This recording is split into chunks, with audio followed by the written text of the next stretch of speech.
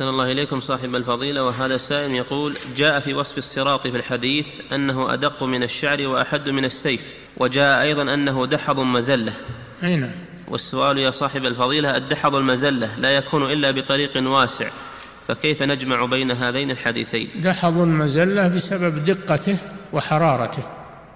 بسبب دقته وحرارته يكون مزلة. نعم. ما يثبت عليه. نعم.